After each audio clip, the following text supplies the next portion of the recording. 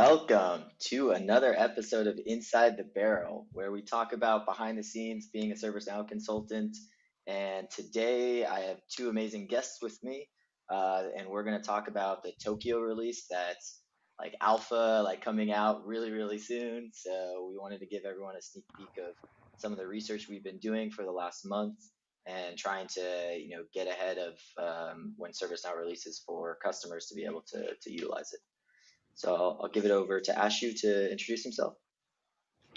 Hey, thanks, Dorian. Thanks for having me. Um, so I'm Ashutosh Munot. I am a dev MVP and a community MVP, and I work in Netherlands with one of the insurance company as a solution architect.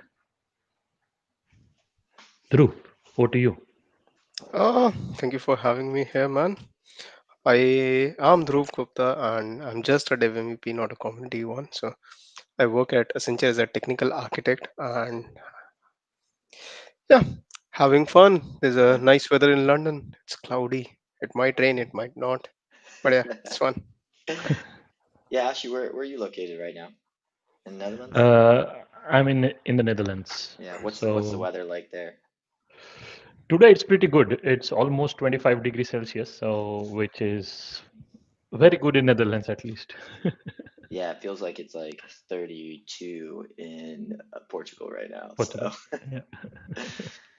All right. So yeah, we have action-packed stuff. Um, couple comments on this. Uh, ServiceNow normally gives like a safe harbor thing. Uh, we're not, we don't have the capability to give a safe harbor thing, but we'll tell you that this is all rumors. It may not come into the release. We don't work for ServiceNow, so we don't know anything other than uh, when it when it actually does get released. Um, we do know that tomorrow uh, early availability is supposed to launch. So if you have a developer instance, you should be able to install early access for Tokyo um, tomorrow. So hopefully, and then I know Chuck is doing a session on all of the cool things tomorrow as well. Um, so stay tuned for pretty much the next week and the next month of like tons of Tokyo related um, uh, versions, uh, release notes. Yep. Cool. So I created a little PowerPoint for us. So um, hopefully this is useful for some people um, to kind of go through. I wanted to talk about, this is an old picture. I know I got lazy and I couldn't find the new one yet. Um, uh, ServiceNow releases. So they release twice a year and then each release has a bunch of features, patches and bugs. And then they also have smaller patches as well after the fact and they they have over the last year made it a lot easier to, to upgrade Upgrade Center has definitely improved a ton where you get previews of records. And um, so call out to that team that has done a, a really good job on uh, making that easier. Yeah, and mainly here I like the functionality to trigger ATF after the upgrade is done, which is a great feature which has helped us because if you have custom applications if you have like 80 90% of service now and if you want to test everything oh it's it, it will take a long time so atf yes improvement. atf along with instance scan that is the way yeah. forward yeah yeah and i know i know our friend mark is like the guru at instance scan so hmm. he has a community post about like 88 instance scan checks or something that he's built and given to the community so if you haven't used any of the his instance scans you should definitely check those out Yep. Um, cool. So, uh, and we are going to talk about ATF at some point in here because there is a, a, super awesome feature coming. So excited for that. But let's talk about anything related to APIs and core since we're more on the technical side, anyways. Um, so I'll let I'll let you guys think. Oh, I haven't even like updated this this slide. Why didn't it? That makes me really sad. Let me uh, let me update this slide because I, I put new things on here. I should have auto refreshed. Um, but I was already excited to talk about RPA. I saw yeah, same one. here. RPA. That, that was on my highlight. Let's uh, let's let's talk about RPA. Start it. So there's some um, new APIs. Um, yeah, I mean RPA. If you see within our RPA is totally new for us. So I don't know if there is any customer out there who is already started using it uh, but it's really uh, really great because i was in amsterdam for the meetup and we did actually so, the topic so. was rpa Yeah. So we went through the RPA configurations, how to do it, how how it will actually help the organizations, and which are the use cases which you can do. Like for example, reading a Word document, converting it into a beautiful PDF document. That can be the use case. Creating your uh, POs, filling a form, and for that RPA can be used. Um, Go for testing, if man. Testing of the your yes, not so wonderful machines that could be done, Mhm. and then you can use it in discovery of identifying those machines as well. We used to say it was out, it was not available at the moment, but now with RP you can do that. And moreover, uh, if you are using agent client collector or anything you can just use these apis i need to check what's there in those apis but it's a good thing to have those apis you can build your process around those using those apis Yeah, and I know, I think at least for this one, it was really focused on like queue and like being able to start and stop and queue um, RPA so you can, you know, have some sort of automated process within it, right? Like you're running some DevOps build or something, like then you will be able to like, you know, trigger or queue up, you know, an RPA so it can then go and log into some, you know, old legacy system and, and do something. Mm, mainly, so literally yesterday we had a discussion with one of our finance team where they want to automate uh, few things within their process uh, with one tool which does not support API at the moment. And for that, we are evaluating if RPA can be used because out of the box, we have three APIs in the backend for RPA for starting the job, starting the process, and triggering the robot.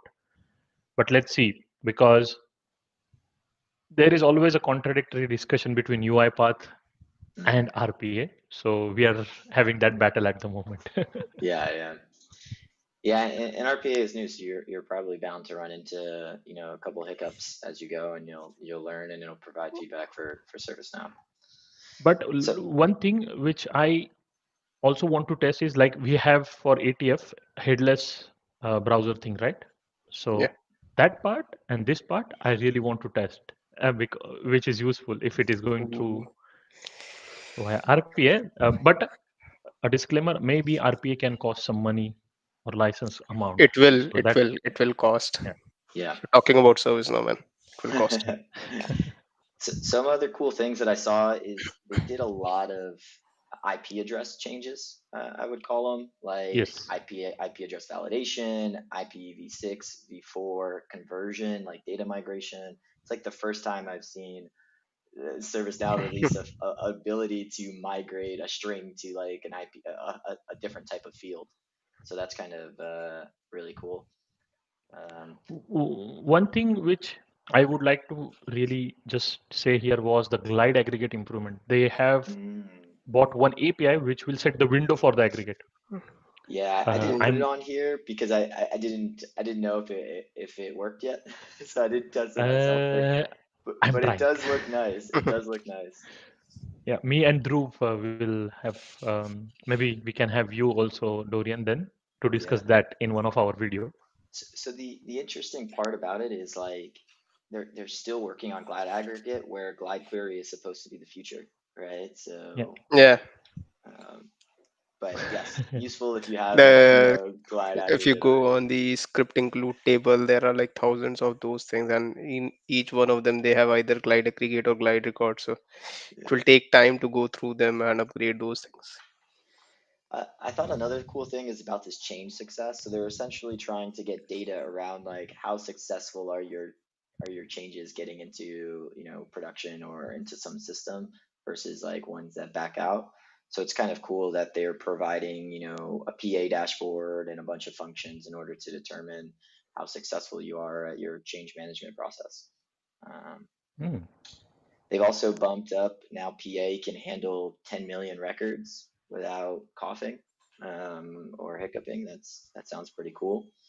Um, attachment encryption I saw was interesting. You know, being able to uh, and encrypt an attachment was probably a very common feature in the government space where they don't want anyone, not everyone, to just be able to see attachments. So I think that's probably a, will be used a lot um, in in some of those secure environments. Um, the data privacy to anonymize with rollback. I thought, I mean, like, I get that all the time. We want to clone from, you know, prod to sub prod, but there's sensitive data in some of the tables. So then we just exclude the whole table and then it makes testing really hard. Yeah. um, so I, I welcome it. And your list of exclude tables, preserve tables Just keep on increasing. yeah. Um, I I also saw that's probably a big for user admin or ServiceNow admins is that data filtration on tables. So Yep. being able to easily filter out without creating an ACL um, who can view records or who can view a table. So I I heard that ACLs are getting scoped or something. We are getting some admin workspace as well. oh yes, I Mm. did I do have that on here. We, there's like an admin center, so we, Yeah. we will talk about it. And then I, I, I think the elephant in the room, ES12 is coming. Indeed. And then uh, for ES12, I just a shout out on 5th of August, there is August. one uh, LCSH live coding happy hour on this topic. So, nice. This and Yeah. guy doesn't leave any opportunity to do shameless plugs. I love it. Yeah, I Uh, think it's it's gonna be interesting because I- I'm I'm all for you know ES12, but like the issue I see is you know because it's not gonna be support, supported in global on launch. yeah. Yeah. Or is it gonna be worth it to do stuff in ES12 until the whole platform supports ES12? Um, yeah, and then now you have to have admins understand both ES12 and you know e, uh, ES 2015, right? So True. there is some you know controversy or discussions that are going to happen at an architect level to determine whether or not you should uh, use it. Yeah. And also the user experience analytics. I Mhm. am using it already. Uh, the analytics center basically to track how employee center is performing or behaving with respect to performance and all those things also with ai search which you mentioned uh, dorian Mhm. because i think it's an amazing feature and Yeah, what improvements they have done and bought in tokyo will help the organizations who has more load on their system y- y- a hundred percent. Yeah, I think ServiceNow has really doubled down on getting data for admins to provide to the organization. Before it was really hard. You're building a bunch of reports, and and now you kind of get uh, dashboards um, in order to to make it easier to to sell to the business or show uh, value to the business. Yep. Um, one thing maybe from this uh, Yeah, what, yeah. what do you think about scriptable flow runner api because i think that's again a great great improvement um, Yeah, man. That too with the roles and kind of a thing, you can test your flows. You don't need to run everything. It's simply like uh, when we can't impersonate, we have APIs to uh, script down how to impersonate a user kind of thing. So it, this would be good for testing and all of those things. Yeah, maybe, maybe you can put some logic as well so that Yeah. your flow understand different scenarios for same item. Like if someone is requesting something, if he is an admin, then do perform this way in the flow as admin or this is something that way. It would be useful. Yeah, I think I'm it's think it's going to be really good when you have like a a scripted REST endpoint that you want yeah, to then call a flow. yeah, Um, I think this is going to be really nice to be able to security lock that, um, like how that uh, flow is run based on who's hitting your REST API. So I think that's the biggest benefit that I see from it. and so then uh, so which means that we have a parameter extra parameter to pass a flow name inside this api is it I, I it can be for the something like that I think this we is for the quick API.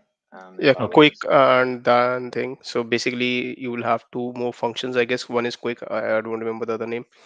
Uh, it would be like earlier we, when we used to have API to run flows. It just take the flow name and on the flow level you configure how the flow will run. But now you would be able to pass on the roles or the type of a user basically. That's the role only, which with which role you want to run that thing. yeah. yeah Cool. Let's talk about Flow Designer since I feel Ah. like it is upgraded in every release. just before the call. We started with the top item, right? Convert items of flows. Oh my god. Um, but I must say, because I am a big fan of citizen development uh, program, uh, and if people start using this, according to me, I think we need to train them again on this topic, that how they can convert it, uh, or should we? I, I personally think that there should be an option to hide this from them. Hmm, Interesting, yeah. So the reason I love it the most is I think about like when I'm coding, and then sometimes you want to like like refactor a function, like you realize you just repeated some some sort of function twice.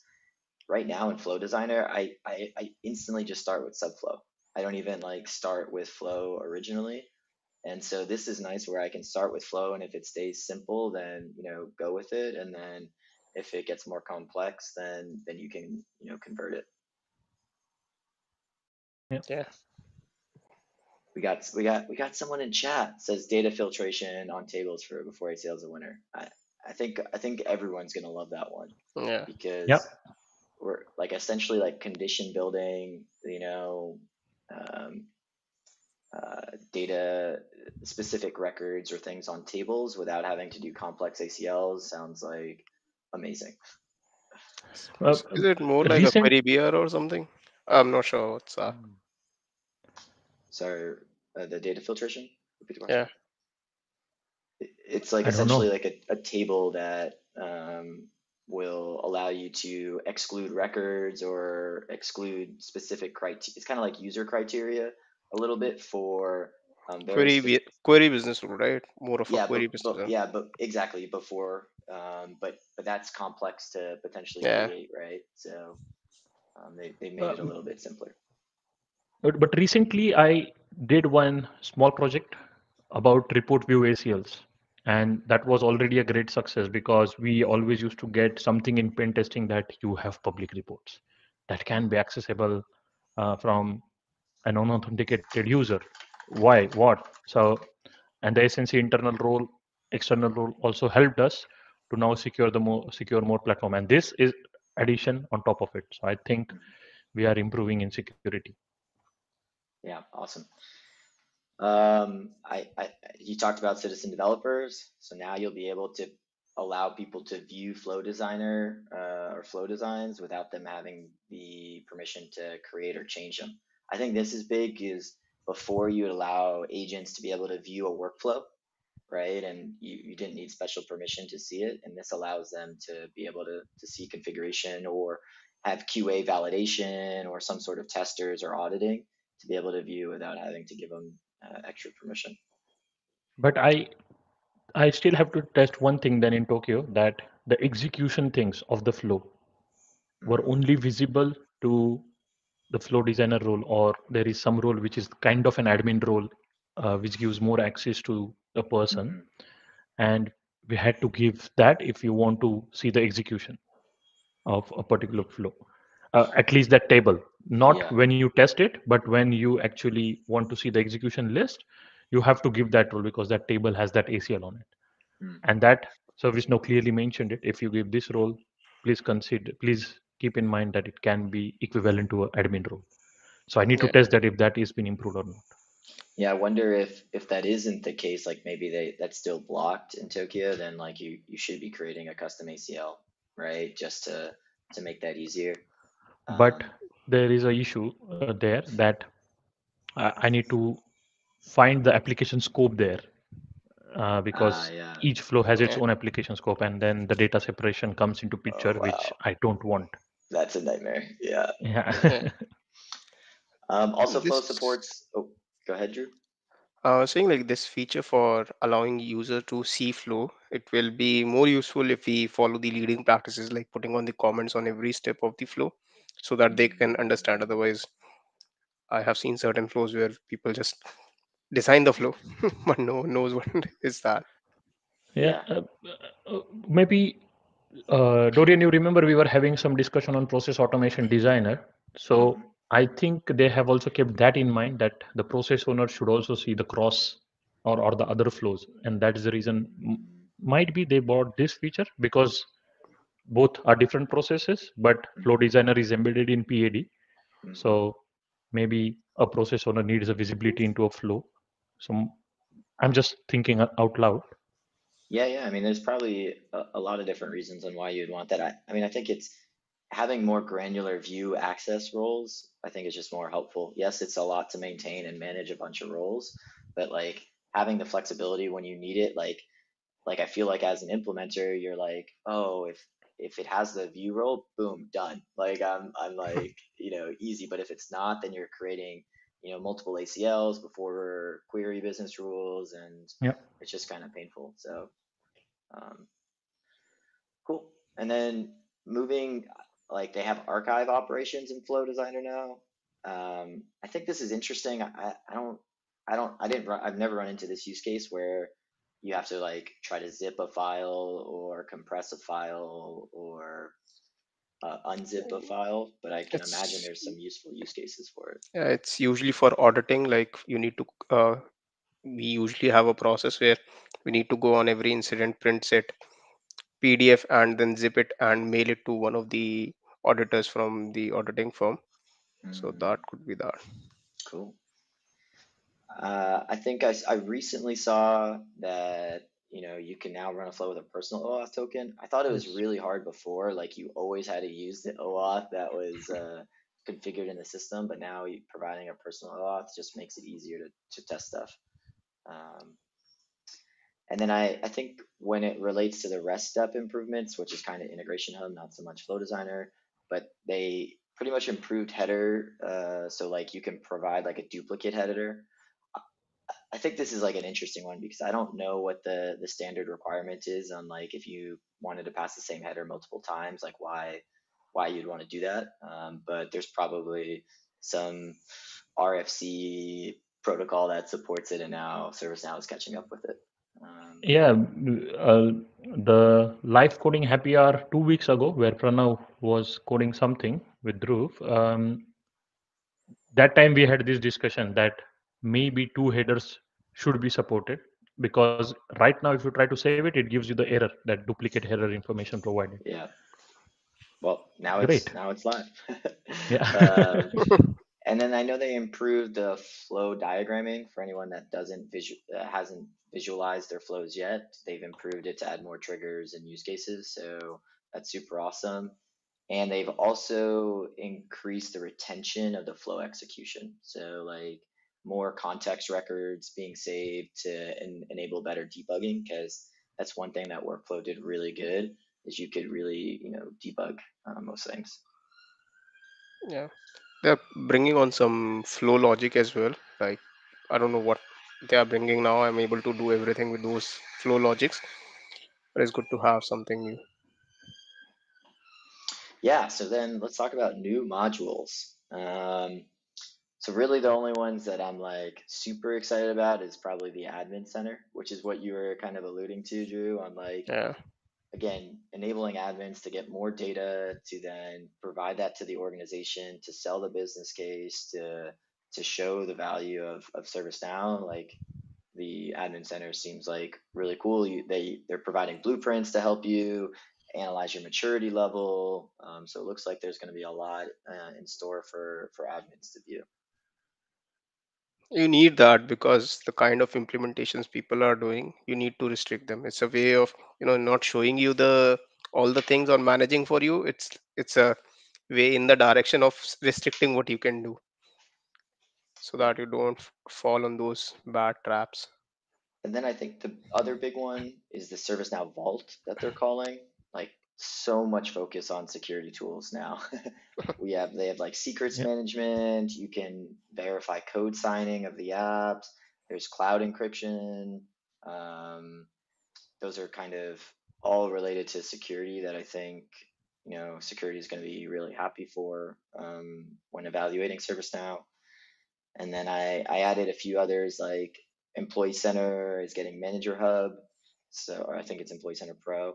Um, so you can now get better views of what a man, as a manager, how the employees are doing in ServiceNow. And then they've also enabled better badge reader integration, which I think is cool for both workspace delivery and also like a walk-up experience.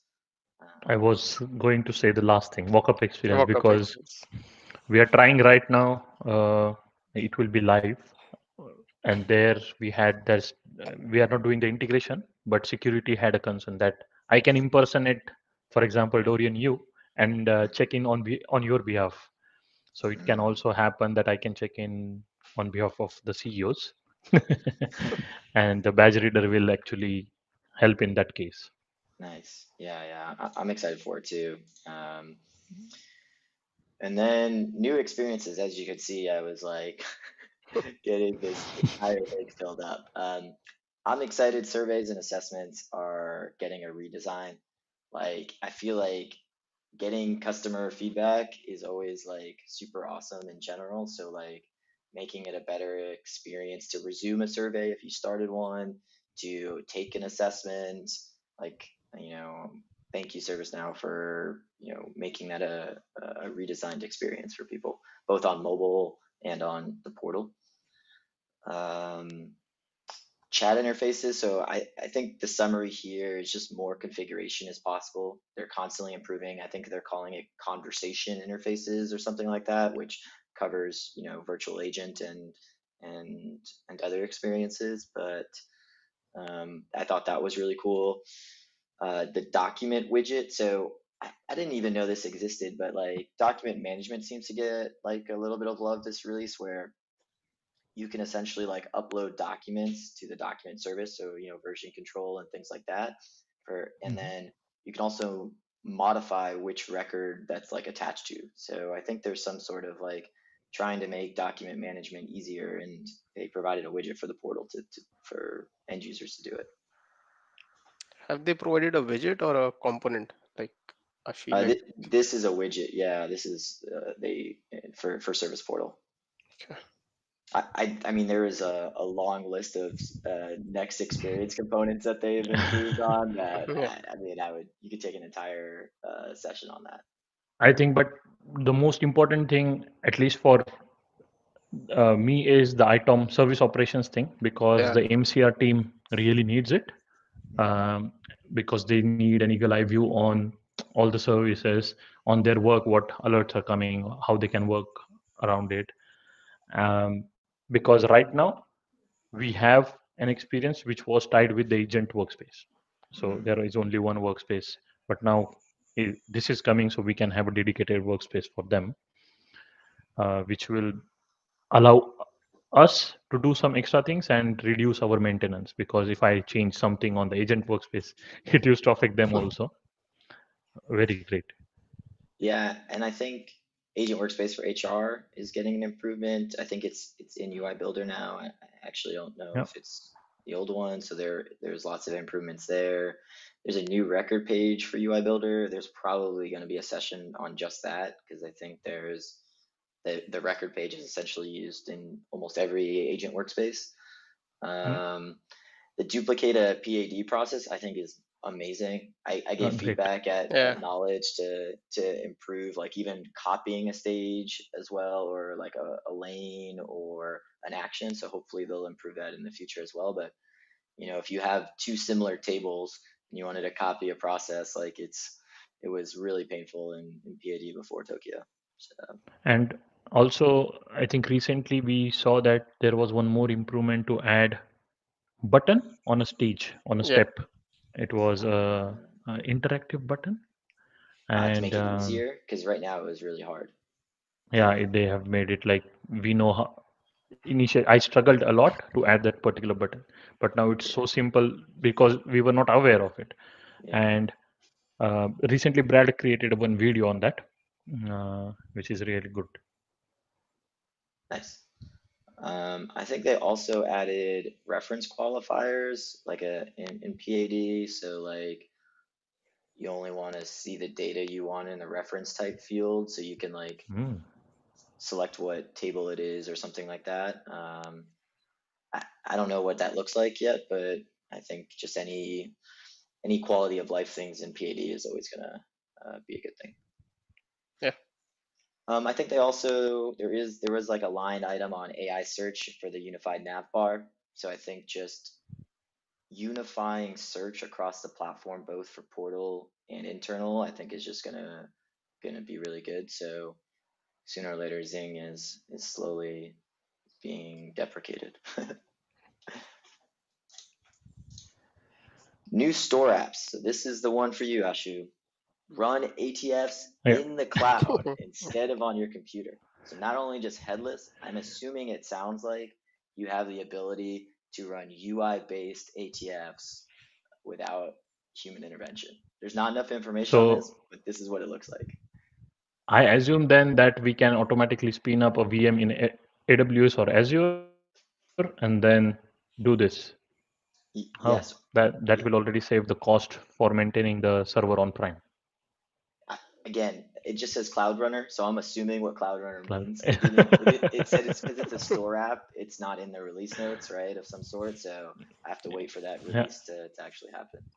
Might be running on ServiceNow cloud instead of our cloud. Uh, Ah, that which then I need to prepare uh, security documentation again. yeah, yeah, um, yeah. Again, like I think it's gonna be cool if it helps with any UI based um, uh, ATFs. So whichever route it, they, they they go with it. Um, journey designers. I'm not big into the HR space um, specifically, but No. uh, looks like they are redesigning the journey designer for lifecycle events and journey accelerators into kind of like a unified single experience. So look for it on the HRSD side of, of things. Another slide that I couldn't fit enough information. Um, quality, I call it quality of life. So notice Quality like I didn't, life. I didn't really like do it by product. I've really just tried to like, you know, high level kind of capture some of this stuff. Um, Yeah. uh, so I love uh, the bulk delete and update records as like essentially queuing up a scheduled job that has rollback capabilities. I think that's just like super awesome because I remember like having to create a scheduled job just to run a script at the middle of the night, and then I would would always be worried that did it actually run the script and, and keep, capture all the things. But if if ServiceNow makes it a very easy experience, I think um, that's going to be really nice, a nice change. I think for me, CI attestation is very important to maintain the quality of your CMDB and to date because now if we have this, we can actually have the data stewards to do the attestation once a year or once a quarter, which will actually uh, tell us how accurate our CMDB is. Also, with respect to CMDB, is uh, uh, sorry discovery, is your discovery getting all the data or not? Is it updating the data properly or not? So all these things, I think CI attestation can help hmm Yeah, anything, anything that's like bulk, bulk update I hope so. bulk change, like I think is going to be huge for admins. If you had to manually clean up orphan CIs or or even the cascading dependent CI retirement, like Yeah. that sounds so nice. This this was a pain deleting the dependent CI and retiring those CIs. So Mm, yeah. stuff. It looked like the language selection for guest users sounds awesome. Like being able to go to the portal, you're a guest user, change the language. Like, oh, that's that sounds super awesome. Um, there was some speed up things, right? So scoped cache uh, in memory. So there's you know ways that they've improved the speed of when you're in a scoped application. It looks like they are caching the audience that's viewing the EC portal, so the user criteria doesn't constantly be uh, run. You can bulk translate KB articles. I thought that was a really good one because manually it's a pain in the butt. Yeah. Um, you can now put feedback control on who can rate at the knowledge base level rather than just the article level. Um, so they increased they they did more feedback controls. Uh, I thought this was a good one because I feel like this is every other major SaaS tool is set up redirects. So when things like are instead of 404s everywhere, just you know say it's like pass it to another article that um, is relevant. Yeah. Um, uh, oh, huge one for admins. Catalog Builder updates get their own update set. If you have ever used Catalog Builder, it is so painful right now because you make one change and it up it adds everything in the catalog to your Yeah. update set. So kudos to them for for at least making it in a separate update set. Um, I think there's just other other things passing a language as a query param on Portal, so you can do more translation. I felt like Tokyo was very international in a lot of their changes, so um, Yeah. definitely a lot of focus on multi uh, multi language things. Um, what else we got? Uh, let's see. I think that was it. That was that was a a good summary for what I could dig up. Um, I mean, Yeah. there's there's still a ton more, right? There's like not only new features, there's like things that they've changed on existing features. Um, there's new properties that they've added. Um, New components that might come in. oh, I mean, yeah, the new UI builder components. Um, I think like the service catalog got a bunch of new things, such as like there's a new system property that um, that's related to the catalog item attachment variable. So there's like one issue there where like it wouldn't delete the record if you tried to move it, and and so like um, you can there looked like there's like encryption on um, variables for like masked variables. So I think there's like a ton of stuff in catalogs um, that was changed as well. Um, I'm like quickly um, uh, reading through some of the the other ones to see if I like missed anything. um, I I think uh, I liked one for mid server, okay. and um that was about the secret management because uh, there are many questions currently coming from the security teams about the secret management, how how secure it is. So we are, we can also now back up the key store, which is very important. If something goes wrong with the server, you still back up your key store. So that part has improved, and then uh, we can manage our secrets, passwords, and the API keys um, within ServiceNow using a group, let's say. Yeah, that's Uh, awesome. and I think that can be, but I don't know how how how it will look like. But I think that is also a great improvement which we have at least with respect to ITOM space. Yeah, it will be like like you don't uh, need to. I mean, I have experienced that when you do external credential discovery, where you get credential from something like CyberArk or PAM portal or something. It's tough. It doesn't work that well. But if you have keys stored in ServiceNow, I think that would be much Mm. better. ServiceNow Vault, Vault. That said, that's the app, right? Yeah, and I and also know in like I I recently read that like they're going to reduce the noise in commit changes. So if you use Studio and you use like source control, like like it, it's really hard to like review PRs, right? Because like you're essentially seeing just a bunch of XML diffs and like trying to find the relevant ones can be uh, kind of tough. So it looks like they're reducing some of the, the Yeah. system generated fields. So that should make it easier. Um, And with respect to licenses, there was one improvement made, uh, which I was reading through the notes on the subscription management dashboard or, or the record. Now they are going to link the definition with the product, Oh, which nice. will help us as admins to understand which definition is used. uh, that's super Because cool. Right now I always have to go to ServiceNow, ask which definition, please tell me, uh, and then dig into it. But license is always a pain. It's always it will be. I also saw that um, on Workspace now, an agent can personalize a form, so they can show or hide their own fields.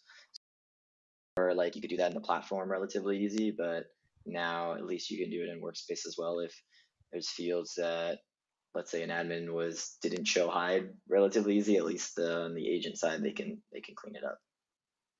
Um, Form on the list view.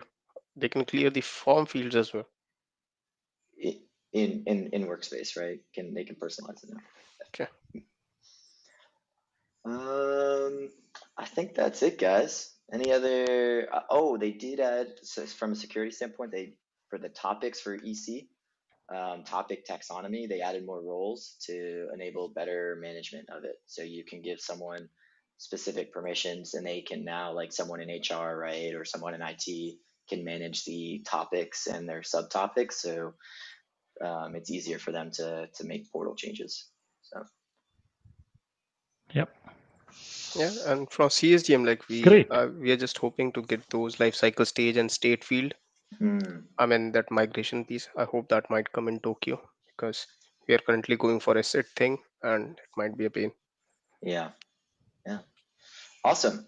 Any uh any last things? Um, excited. Just a reminder, like all these things we talked about. Again, we have no idea if they're actually coming in. We don't work for ServiceNow, so don't make any investment choices or like decisions Yeah. on, on it.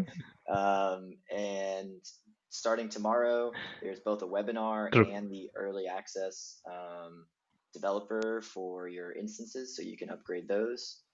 And there was a couple other shout outs, Ashu, that we wanted to remind people of. Oh, Live coding. No, yeah. uh, I think ah, you can see again yeah, August uh, fifth. that is coming. August fifth. You see, uh, I'm coming on live coding APR again for the EC. Yeah, I don't know if I'm coming, but uh, yeah, they are doing on ES12 and on 4th, Chuck is doing the Tokyo thing. And um, On twentieth, you know. me uh, and Dhruv will be creating short videos about the releases in yeah and um on 20th august we have uh, mavericks event it's a event which we organize so Dhruv started it and we will have uh, chuck presenting in that on the tokyo release again so please join us in that event also the registration link will be published soon within a within a couple of days and then you can s- register for it thanks dorian for giving the stage Yeah, yeah, awesome. Thanks for thanks for joining and it's glad to glad to get everyone on here. Thank you. Take it easy, everyone. okay bye Bye bye guys. Bye. I like that sound. It should be a live coding idea.